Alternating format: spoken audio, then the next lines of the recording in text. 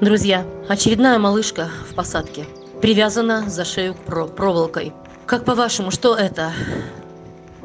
Дикая жестокость? Или быдлячья тупость? Так, ну, Что это? И привязали. как это назвать? Кто мог привязать ребенка заранее, заведомо, обрекая его на смерть спокойно и равнодушно? Это ведь однозначно больной урод, потому что нормальному человеку такое даже в голову не придет. Хорошие мои, как с этим бороться? Потому что сталкиваемся мы вот с таким чудовищным отношением к животным чуть ли не каждый день. Девочку назвали Ариша. Ее спасло то, что она выла целую ночь. И ее услышали. А когда услышали, позвонили нам и сказали, что там собака воет, но мы ее боимся, к ней подойти нельзя. А ребенок просто метался от боли и от страха. Друзья, Аришу забрали. Сняли с нее кучу клещей. У девочки был пироплазмоз. Мы его пролечили. Несколько дней прокапали. И сейчас девочку стерилизовали. Малышка чувствует себя уже хорошо. Возраст у ребенка приблизительно 10 или 12 месяцев. То есть в пределах года. Ребенок еще испуганный но тянется к людям, и этого не отнять. У нас новая лохматая душа, ребята. Это Ариша. Но если бы только на этом. Можно было остановиться. Дальше, ребята, очередная, Что-то они не подходят. Но мы их тут я даже не знаю, как сказать, афера бессовестных людей, наглых и бессовестных. И относится это мое выражение к тем, кто занимается отловом, так называемым спасением животных. Эту маму мы назвали смешно и в то же время трогательно. Цыпа. Потому что только у такой цыпы могло родиться 11 малышей. И она над ними, как квочка. 11 детенышей. Вы представляете? К несчастью, девочка родила их под трубами, которые проходят вдоль окон девятиэтажки. И, разумеется, когда малыши стали выползать, она стала их охранять. Поэтому было решено срочно вызвать отлов и убрать оттуда маму. Недавно на стройке точно так же поступили. Приехали, отловили маму, большого подростка и уехали. А малышей бросили. Совсем недавно этот случай был. Там позвонили, попросили помощи. Сказали, что чипированная собака родила детей. Я сначала думала, что я а, ослышалась. Переспросила.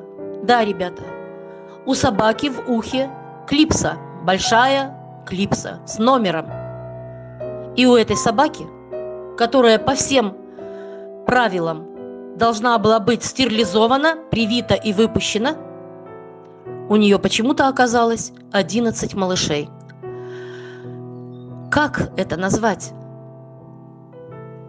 Какая сволочь, забрав деньги, не выполнила условия контракта? Кто занимается этим и почему отлов животных доверяют непроверенным людям? Тем, для которых важна нажива, а не реальная помощь бездомным животным. Нереальная помощь нам, людям. Потому что стерилизованное животное не будет плодиться и не будет сбиваться в злобные стаи. У собак не будет течек, и кобели не будут сходить с ума.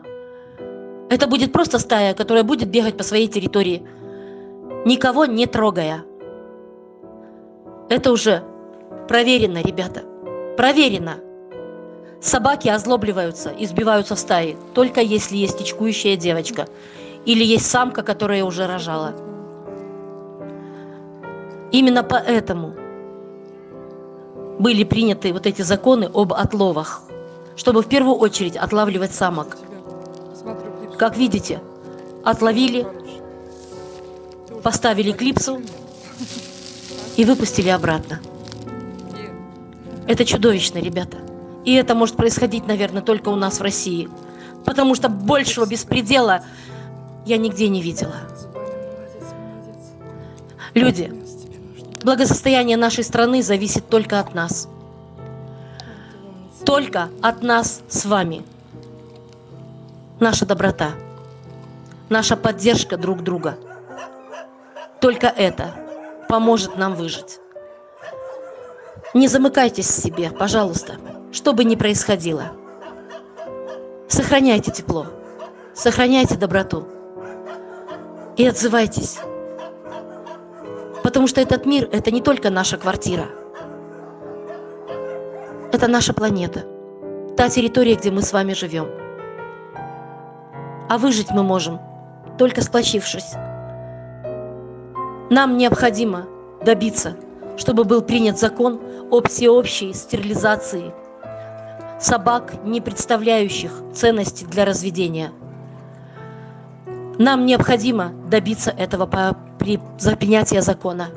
Просто необходимо, иначе, ребята, деньги так и будут отмываться. Типа они пошли на бездомных животных. А мы, частные приюты, будем захлебываться в этих животных, щенках и котятах. Потому что помощи от государства нам нет. Зато куча правил, ужесточающихся с каждым днем. Я обращаюсь к вам, люди.